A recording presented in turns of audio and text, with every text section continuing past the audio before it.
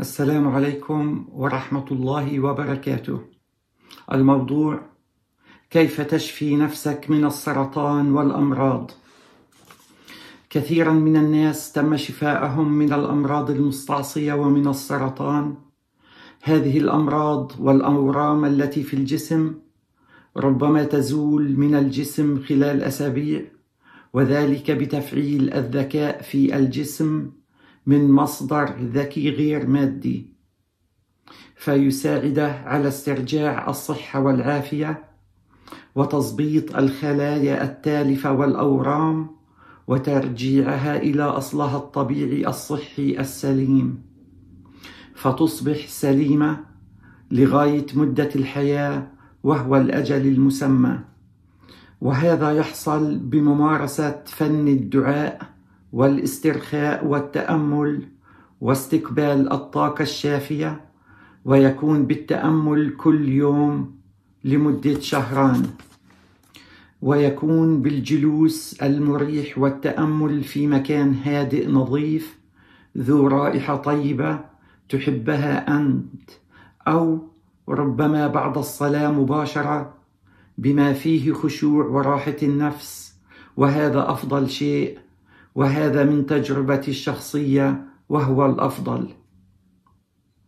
افتح يديك مبسوطة وارفعها على مستوى أقل من كتفيك وبكل خشوع ومحبة احمد الله واشكره واستغفره وقل يا الله يا رحمن واطلب من الله المساعدة في الشفاء مع استمرار التنفس العميق واثقا من الله باستجابة دعائك.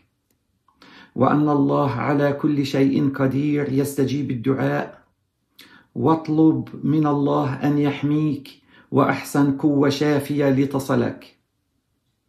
ثم أشعر بأن هذه الطاقة بدأت تتسرب لجسمك.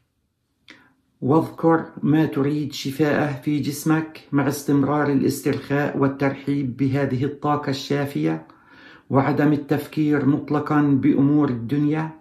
لأنه يعيق تدفق هذه الطاقة الشافية. بل كن فرحا مبتسما شاكرا الله. كلما كنت فرحا ورافعا يديك سوف تشعر وتحس بطاقة خفيفة تتدفق خلال يديك ورجليك. وتسري في جسمك اغلق عيونك وافرح لهذه الطاقة. شاكرا الله واشكر الذي نقل لك هذه الطاقة. هذه الطاقة الشافية سوف تشعر بها كطيار خفيف بارد هادئ يسير ويتدفق داخل كل جسمك للشفاء. وستشعر بالسعادة وظهور نتوءات وبروزات غير إرادية مثل حب صغير خفيف لطيف وجميل. إنه يظهر على الجلد ووقوف الشعر وانتصابه على الجلد. وهذا يدل على تدفق الطاقة الكهرومغناطيسية الشافية المعافية لجسمك. وهذا ما أشعر به شخصيا عند الدعاء. ربما تحصل أو تشعر بالطاقة من أول مرة أو من ثاني مرة أو ربما من بعد عدة مرات. لكن مع التجربة والتناغم سوف تعرف كيف تتصل بهذه الطاقة وتتعافى فلا تيأس. كن دائما متفائلا. كل شيء في الدنيا يحتاج إلى علم ومعرفة وممارسة.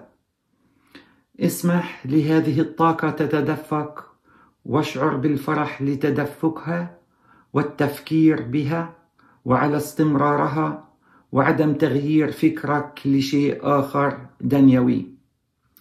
هذه الطاقة الشافية سوف تعمل على تظبيط الخلل في الجسم والانسدادات في الهالة.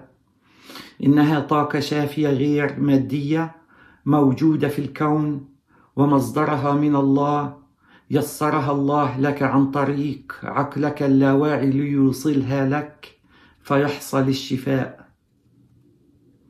ابقي يديك مفتوحة وهذا الطيار ربما يستمر ثواني أو دقائق حسب الخبرة والاسترخاء وعدم انشغال العقل الواعي بأمور ليس لها علاقة بالشفاء أو أي شيء آخر. وابقى في حالة استرخاء واشكر الله واحمده وكن فرحا. ففي العلاج المادي عندما يعرف الدكتور المرض يعطي الدواء الشافي المادي للمريض فيأخذه فيشفى. في حال الشفاء بالطاقة الشافية إنها غير مادية والعقل اللاواعي هو الدكتور وهو غير مادي إنه يعرف كيف يتصل بالكون والحصول على الطاقة الشافية لنفسنا وجسمنا فيوصلها بالطريقة التي ذكرت فيتم الشفاء بإذن الله تعالى. إذا أعجبك هذا الفيديو أعطيه لايك. وإذا تحب مشاهدة فيديوهات أخرى اعمل لي فولو وشكراً.